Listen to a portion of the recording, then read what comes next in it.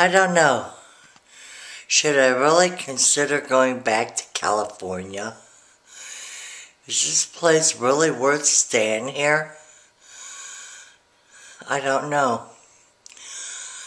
Got a week to figure it out, and then I'm gonna buy a ticket for California. Okay, that's it. Bye.